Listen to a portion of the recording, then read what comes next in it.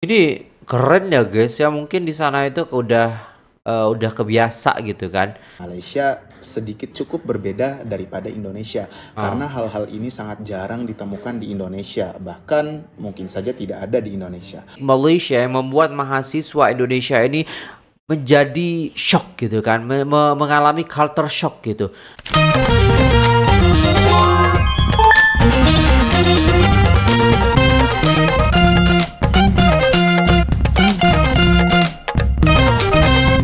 Assalamualaikum warahmatullahi wabarakatuh. Jumpa lagi dengan saya guys Cak Mujib. Gimana kabar teman-teman semua? Semoga sehat selalu bahagia dunia akhirat. Selamat datang di Cak Mujib TV guys. Kali ini teman-teman kita akan reaksi sebuah video Yang direkas oleh teman-teman sekalian di Instagram ya guys ya. Masya Allah banyak sekali ya. Mungkin eh, teman-teman yang kirim tapi nggak kebaca. Jadi saya mohon maaf buat teman-teman semua yang belum kebaca ya.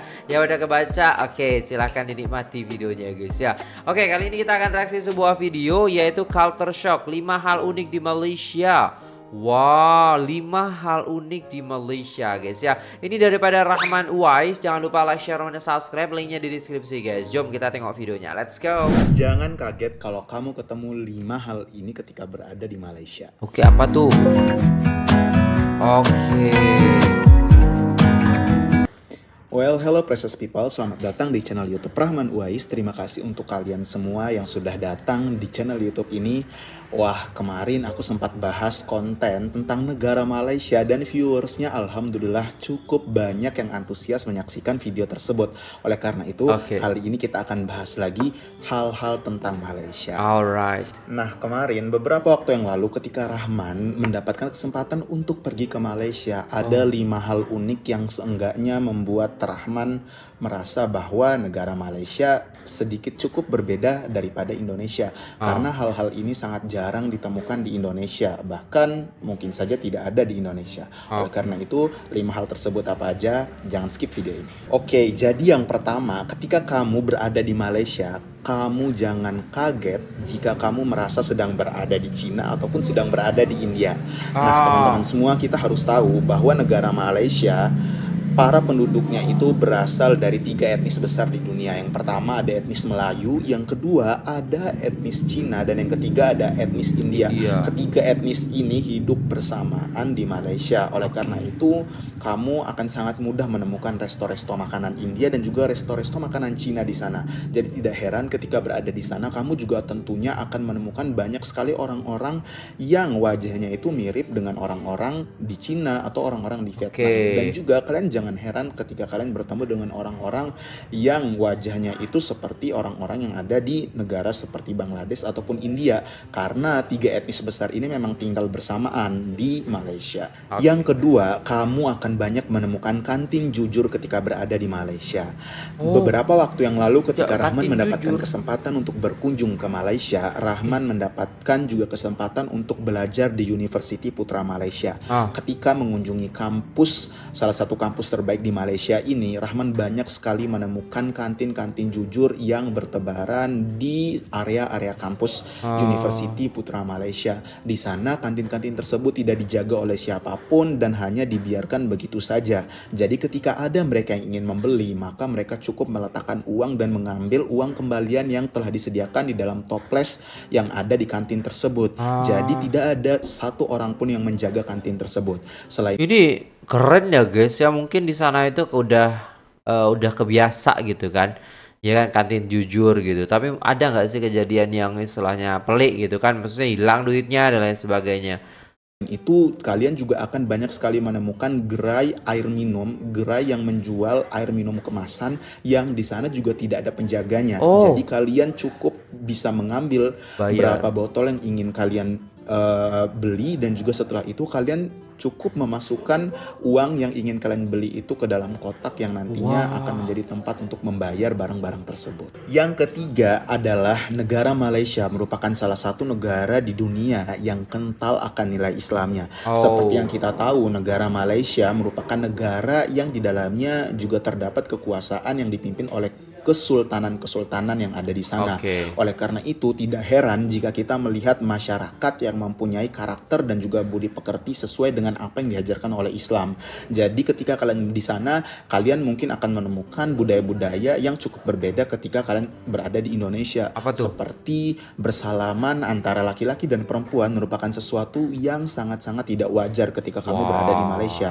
Apalagi ketika kamu adalah seorang muslim yang juga bertemu dengan muslim lainnya. Oleh karena itu penting bagi kalian ketika ingin berkunjung ke Malaysia untuk menjaga sikap-sikap kita ketika bertemu dengan orang-orang di sana. Karena mereka cukup atau benar-benar menjaga nilai-nilai Islam yang diajarkan oleh orang tua dan juga apa yang ditetapkan di negara mereka. Yang keempat, nilai mata uang yang tinggi. Negara Malaysia, teman-teman, merupakan salah satu negara yang memang letaknya bersebelahan dengan Indonesia Ya, dan juga tapi- tidak memiliki luas tanah atau luas Paham. wilayah sebesar Indonesia. Ya. Akan tetapi kita semua harus tahu bahwa negara Malaysia memiliki nilai mata uang yang lebih tinggi dibandingkan mata uang rupiah atau mata uang negara Indonesia.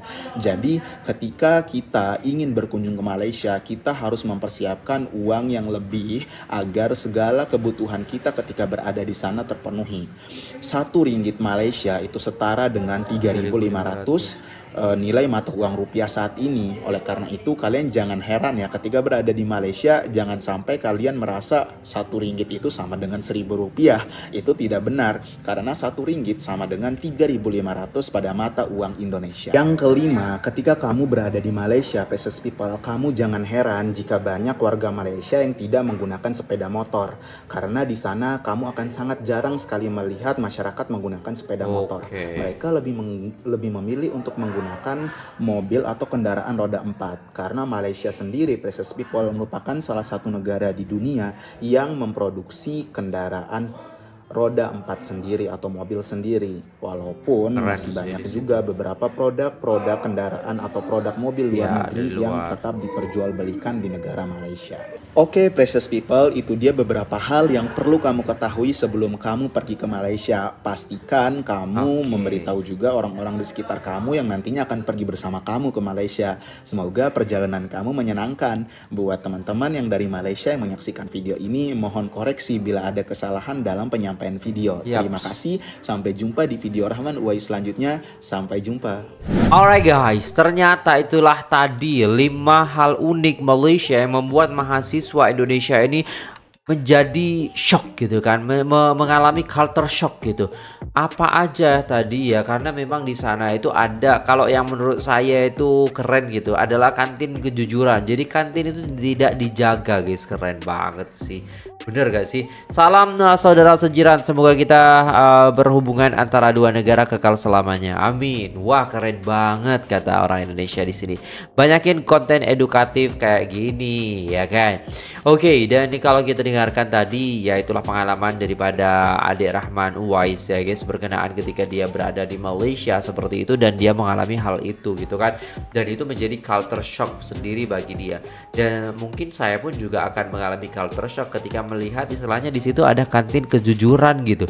Kantin kejujuran di mana itu tidak ada orang di dalamnya, tapi ya kan kita beli, kasih kembalian, kasih uang dan lain sebagainya. Dan itu melatih supaya kita itu menjadi jujur seperti itu guys. Ya salut sih sama sistem yang ada di sana. Jadi apa ya membuat kita itu kayak harus membuat diri kita itu menjadi orang yang sejujur-jujurnya gitu guys ya. Ya kalau kalau apa namanya ya kalau hilang ataupun lain sebagainya mungkin pem- pemiliknya sudah ikhlas seperti itu tapi pasti ya gak jarang mungkin terjadi juga istilahnya karena di area-area kampus gitu kan. So itu dulu video kali ini guys. Terima kasih sudah tengok video ini sampai selesai. Jangan lupa subscribe, like, share uh, video daripada Rahman Wise linknya di deskripsi guys. Ya subscribe karena ini baru 216 subscriber. Saya berharap uh, channel Rahman Wise ini setelah saya react ya kan itu menjadi 1000, 2000 sampai 5000 subscriber. Oke, kita bantu bersama uh, Rahman Wise ini guys ya. Terima kasih. Assalamualaikum warahmatullahi wabarakatuh.